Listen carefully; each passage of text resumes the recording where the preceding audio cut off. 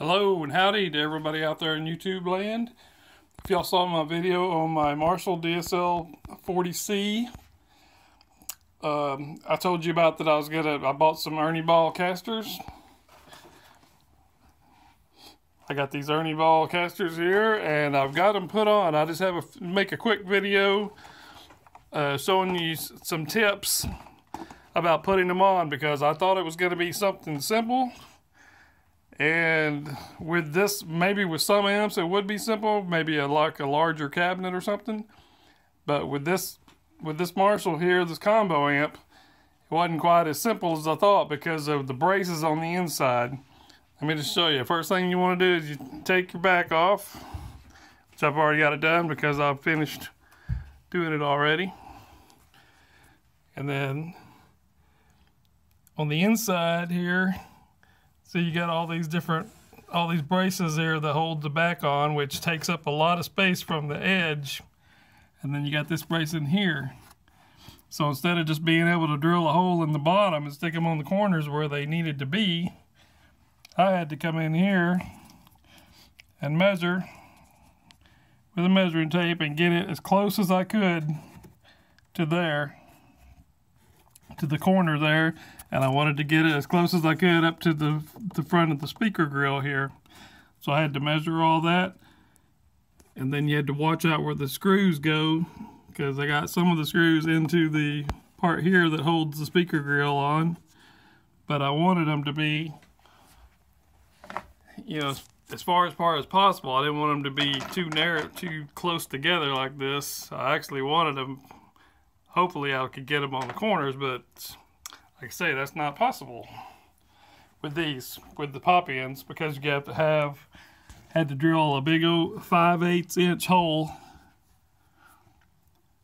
to get that centerpiece through where the wheel goes in or whatever. And anyway, as long as you measure everything and and make sure you're not hitting anything it just took some time getting the holes big enough. It was a 5 8 hole, and I didn't even have a 5 8 drill bit.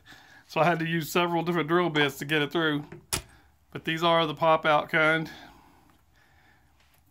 And those screws, these screws here are pretty big. And one thing else I had to do, just to notice on the front of the amp here, where the grill was, it left me with plenty of room to get it in here where this corner is.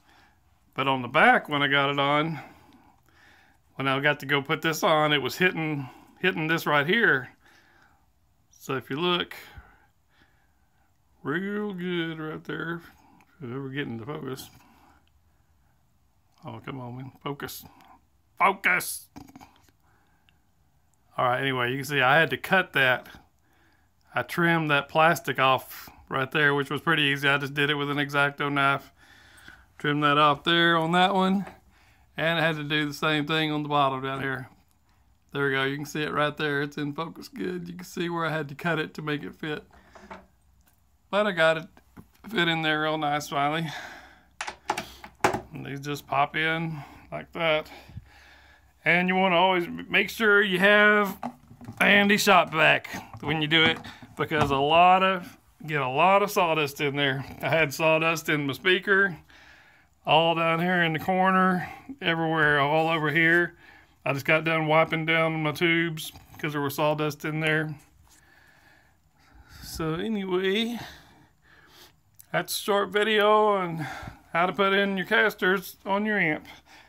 So if you like my videos, what I'm doing, I'm doing a lot of playing videos and I'm doing some some demos of instructional stuff like that, or what I know. but anyway, if you liked it, subscribe, and thanks for watching.